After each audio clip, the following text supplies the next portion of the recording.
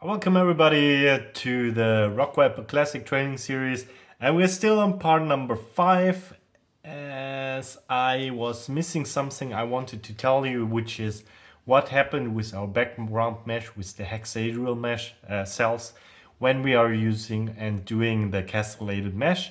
And therefore this is uh, part 5.2 which I am explaining you how um, we can detailed analyze the cell shapes we get during the castellated process and we are actually having two of cells types. It's uh, the pure hexahedron cells which comes from the background mesh and the polygon cells of arbitrary um, face amount my name is Tobi and we are just going on and jumping into our project.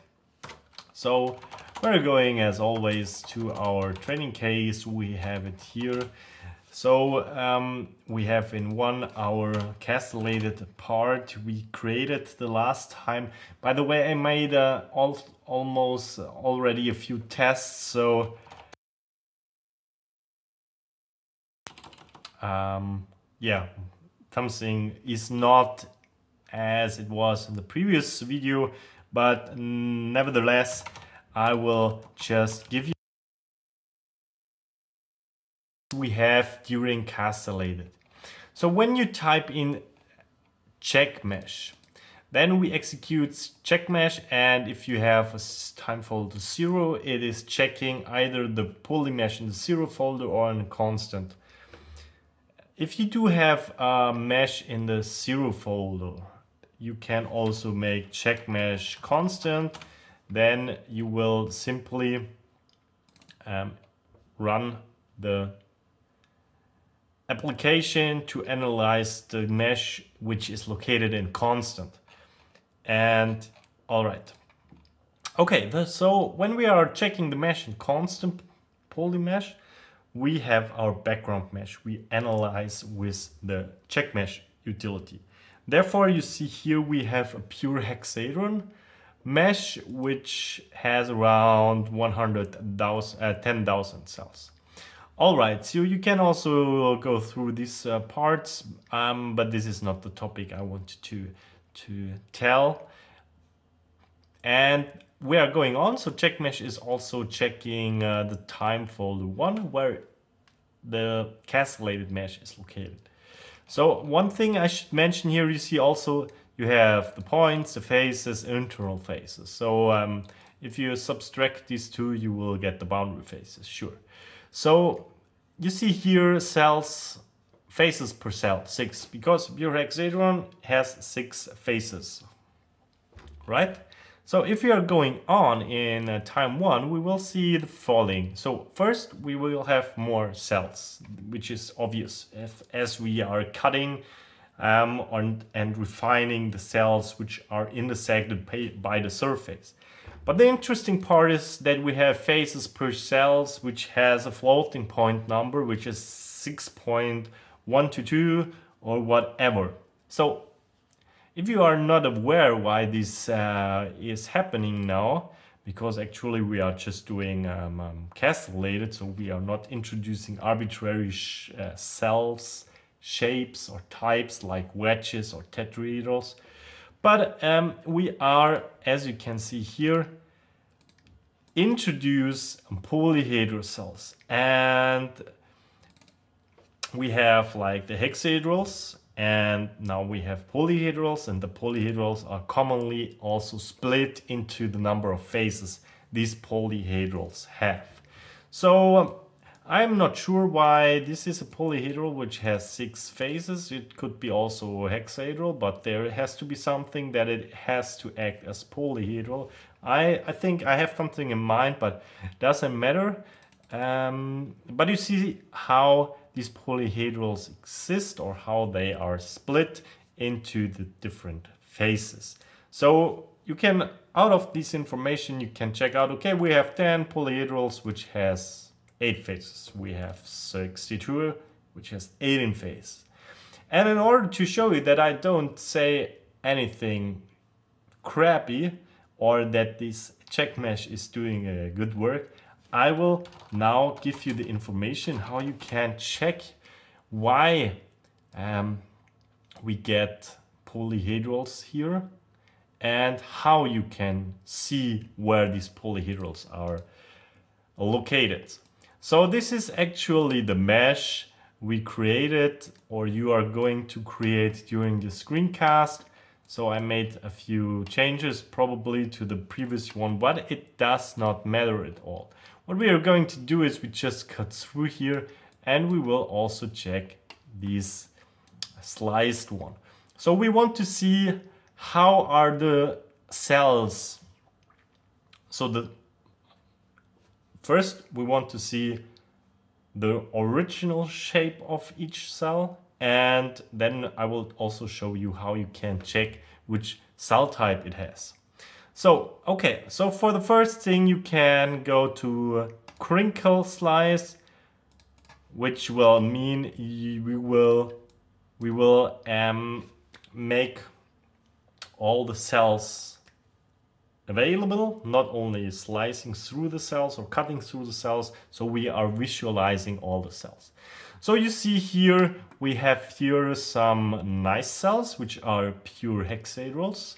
Here the same, and here it is also valid. But for any reason, we have here these crazy pyramid removed cells or how you will name these guys looks more like a tetrahedral or polygon than a hexahedral or yeah and this is based on the fact that we said okay if you click here on this um, main object we decomposed polyhedrals which would mean that um, snappy is like triangulating them and then cutting the parts out which are not actually visible in this view. And doing so, we will get a nice mesh, which looks now more or less a pure hexagon mesh, but actually it is not. So, in order to check out how these um, cells are created, it is obvious. So, we have a pure hexagon cell, background mesh. Now we have one cell and the next cell which is located oh, I have to check out so we have one cell and the next cell and through the second cell on the left hand side now and there is a shape going through so we refine the cell however these two cells which has uh, the same lengths of each edge share one face okay so now there is a shape going through and the second cell is refined. So we are making eight more cells out of it. So using the finite volume method, it is uh, like each face can only be shared by a neighbor and an owner or vice versa. The owner cell and the neighbor cell, they share only one face. It is not possible that two or two other neighbors are sharing one and the the same face. It is not possible. So this is like a strict limitation or it's like a conservation that we have only one face which is connecting by, by, by two cells. So in other words, one face connects two cells. And if we do have now these cutted cells on the right, on the left hand side, we have introduced four cells here with, while we keep this cell the same. So this shared face cannot be one face anymore. So we have to cut this face too. What would this mean? Or this leads to the fact that the smaller cells, they are pure hexahedron cells, which share like a small one one fourth of the original face to the neighbor cell. Okay? However, this cell, the big one, now has on the big face, this face was cut into four cells. So this cell now has four faces on these sides, which does not make the cell an hexahedron anymore. So it is a polyhedral because it has more faces here. It's four. So this face one which was shared by the two big guys, are now cut into four for the small cutted cells, which are pure hexahedron. And these small faces are also belonging to the big one, but the big one has now these four, four faces, um, which actually, yeah, couples the neighbor and the owner cell of one of these four faces. So, okay, I think uh, it is obvious. And in order to check it out, you can simply cut out cells here while getting select cells throughout. And then you can select some cells. For any reason, you see only here some selection, which I don't know why the other part is select and is not visible to, be selected. So we can then go to extract selection and you will get these guys. Okay. So now you see that we have here a, a collection of cells and we are just interested in the big one and we again extract this selection. We check out how does this guy look like and therefore I just um, make it in white. Probably we will um, can make the lines a bit thicker that you get it much better but it was already obvious so this is like um, a hexahedron which has as I said four neighbor cells on this direction on the right hand side which are cutted however the this cell was not refined and therefore we get these four new cells or faces. Thus, this cell is not a hexagon anymore, it is a polygon. And in order to check out the cell types, you can, again, you can just um, make this visualization, you cut it, then you go to spreadsheet and then you go to cell data and here is uh, the cell type located. And you see that this is um, a polyhedron, which is obvious as we do have here four, four faces. And yeah, that's that's it. That's everything. So out of what do you, you get out of this?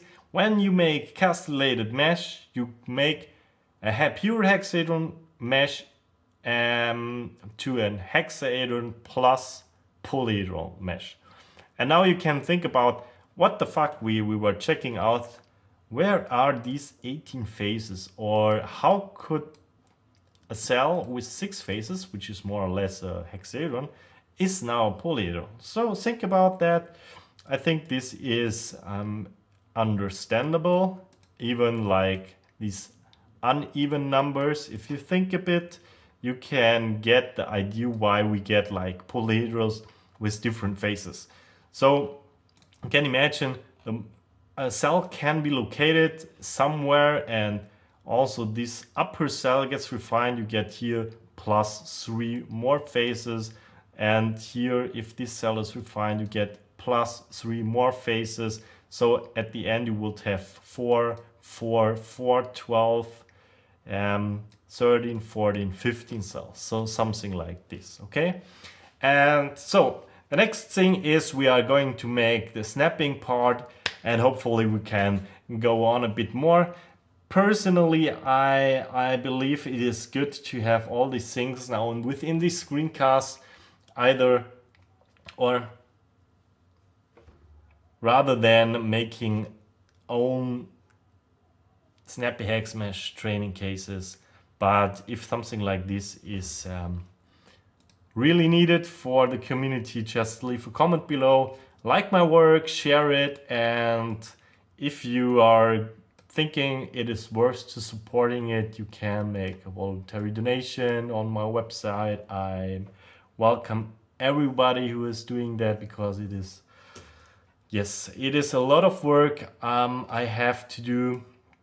And we have 15 minutes left. I think it's fine. My name is Tobi. Keep foaming, guys. Keep healthy, and we are. We see each other or you see my face in the next training session six with snapping and snappyHexMesh. Bye bye.